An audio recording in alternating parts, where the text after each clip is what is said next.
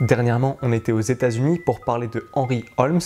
Eh bien, restons sur le continent nord-américain, mais faisons un bond dans le temps. Dans les années 60-70,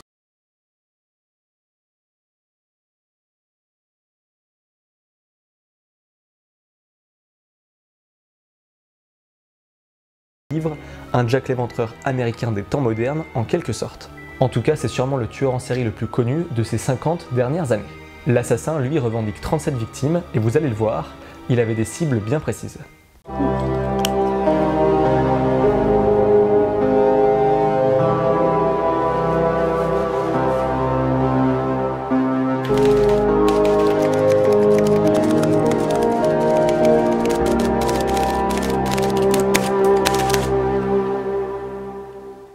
Notre histoire commence durant les fêtes de fin d'année. Le 20 décembre 1968, Betty et David, deux jeunes tourtereaux, se rendent sur les bords du lac Herman pour y passer du bon temps en amoureux. Il fait nuit noire, ils décident de s'arrêter sur un parking, un endroit isolé et sans aucun témoin. À 23h15, une autre voiture s'arrête, le conducteur leur tire dessus, les jeunes tentent de s'échapper en courant, mais ils seront abattus par le tueur. Après l'hiver, place aux longues soirées d'été, Darlene et Michael sont eux aussi en train de passer un moment en amoureux sur le parking du golf de Blue Rock Springs. Aux alentours de minuit, un autre conducteur les observe avant de les éblouir avec ses phares et de leur tirer dessus. Vous les avez fichu la trouille Le jeune homme survivra à ses blessures et il racontera la scène à la police. Il se souvient d'un homme blanc, plutôt jeune, d'un mètre 75 environ, d'à peu près 90 kg avec des cheveux bruns. C'est la seule personne qui a aperçu le visage du tueur. La cadence du meurtrier s'accélère, il frappe au début de l'automne, le 27 septembre.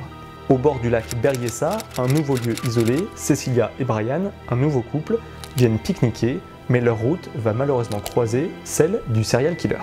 Le tueur en série ne répète pas les mêmes erreurs, il décide d'enfiler une cagoule pour dissimuler son visage avant de menacer ses futures victimes avec un pistolet. Il demande aux amoureux leur argent, les clés de leur voiture, il les attache à un arbre avant de les poignarder, il met 6 coups de couteau au jeune homme et 10 à la jeune femme. Sur leur voiture, le tueur grave son symbole et les dates de ces différents meurtres. Deux semaines plus tard, le Zodiac sort de ses habitudes, puisqu'à San Francisco, le 11 octobre, il tue un chauffeur de taxi d'une balle dans la tête. Il repart avec les clés de la voiture, le portefeuille et un bout de la chemise de sa nouvelle victime. Le serial killer est aperçu par trois adolescents qui préviennent la police, mais les forces de l'ordre diffusent le signalement d'une personne noire pour la rechercher et le tueur parvient à s'échapper. On soupçonne aussi le Zodiac pour d'autres crimes. En 1963, 5 ans avant les premiers meurtres officiels, un couple est tué par balle.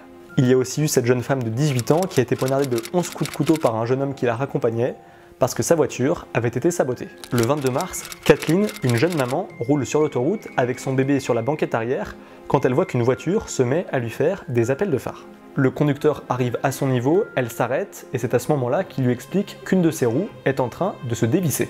Le tueur au Zodiac propose gentiment de lui resserrer sa roue, mais il fait tout le contraire, si bien que quand Kathleen reprend la route, sa roue finit par tomber. Notre homme propose alors de l'emmener jusqu'à la prochaine station-service. Je n'ai pas voulu vous faire peur, je peux vous emmener à la station-service La première station est fermée, la seconde est ouverte, mais le chauffeur ne s'arrête pas. Effrayée, la jeune femme décide alors de s'enfuir à travers champs dès que la voiture finit par s'arrêter.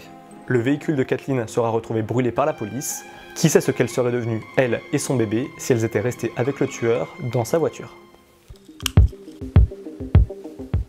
Le Zodiac a toujours cherché à se faire remarquer, que ce soit en communiquant avec les médias ou en arguant les forces de l'ordre. D'ailleurs, il appelait la police depuis des cabines téléphoniques à proximité de certains de ses crimes. Cher rédacteur en chef, je suis l'assassin des deux adolescents de Noël dernier et de la fille de Valero. Dans ses courriers envoyés à la presse, on retrouve des cryptogrammes. Le premier a été déchiffré en 1969, mais trois autres sont encore aujourd'hui incompréhensibles. Il signait ses lettres avec une mire, un symbole assez spécifique qu'on retrouvait sur certaines de ces scènes de crime.